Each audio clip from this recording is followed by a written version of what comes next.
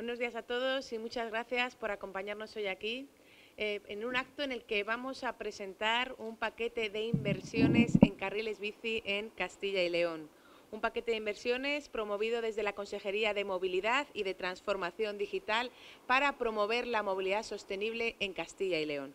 En concreto, desde la Junta de Castilla y León se van a destinar más de 15,6 millones de euros confinanciados con fondos europeos del Plan de Recuperación, Transformación y Resiliencia para la construcción de más de 45 kilómetros repartidos por toda la comunidad.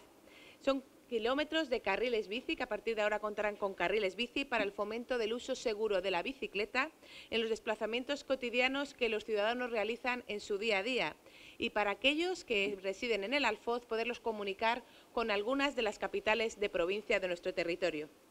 Enmarcado dentro de la Semana Europea de la Movilidad, que en esta edición del 2023 presenta el lema de ahorra energía, intentamos concienciar a todos los ciudadanos de que una simple elección de nuestra forma de desplazarnos puede tener un gran impacto a nivel global. Y hemos querido presentaros este conjunto de ocho propuestas que muestran eh, las políticas sobre la promoción de la movilidad sostenible en Castilla y León.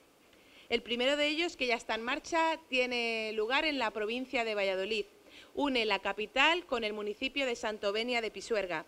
Cuenta con un presupuesto de 1,3 millones de euros y un tramo de 2,5 kilómetros en la Valladolid 113. El segundo, cuyas obras también han comenzado, se realiza en la provincia de Salamanca. El proyecto recoge un carril bici y peatonal entre la capital salmantina y la localidad de Villamayor, con una longitud total de 1,12 kilómetros y un presupuesto de 457.000 euros. En el caso de Ávila, la actuación prevé la unión de la capital con la localidad de Aldea del Rey, situada a 6,7 kilómetros, mediante la construcción de una pista ciclista independiente y paralela a la carretera autonómica AV900. El presupuesto es de 1,44 millones de euros. En cuarto lugar está Palencia. La propuesta de 1,78 kilómetros de longitud tiene un presupuesto de 769.000 euros. Va a conectar la capital con el municipio de Villalobón a través de la carretera Palencia 405, dando continuidad a un tramo ya ejecutado por el Ayuntamiento de Villalobón a través de la ampliación del trazado de este en los dos sentidos.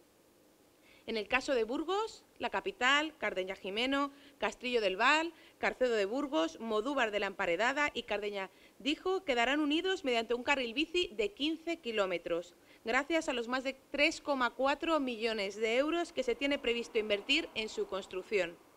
La obra consistirá en la creación de un carril bici bidireccional y una senda peatonal. Su tramo inicial coincide además con la actual vía verde del ferrocarril Santander Mediterráneo hasta la entrada en el municipio de Cardeñadijo. En el caso de León, la actuación se divide en dos tramos. El primero de ellos prevé invertir 1,19 millones de euros para unir los términos municipales de San Andrés de Rabanedo con la capital. De 1,9 kilómetros de extensión es el tramo comprendido entre el límite del término municipal de San Andrés de Rabanedo y el segundo de los tramos, eh, que arranca en San Andrés de Rabanedo, llega hasta el término municipal de Lorenzana. Tiene una inversión de 3,74 millones de euros. Se va a realizar mediante un carril bici, logrando asimismo dar continuidad al tramo anterior. La obra consistirá en dos mm, carriles unidireccionales, adosados cada uno de ellos a la margen de la carretera CL 623, con una longitud de 6,1 kilómetros. Y finalmente, en el Zamora, el proyecto prevé la creación, tras una inversión de 1,89 millones de euros, de una senda bidireccional de 10 kilómetros de recorrido que comienza en Moraleja del Vino y transcurre también por Casa Seca de las Chanas y Arcenillas hasta entroncar con el itinerario ciclista municipal. Para finalizar, me gustaría subrayar el compromiso de la Junta de Castilla y León y de nuestro presidente, Alfonso Fernández Mañeco, con una movilidad sostenible, bien a través de inversiones como las que hoy aquí presentamos o todas aquellas otras relacionadas con el transporte.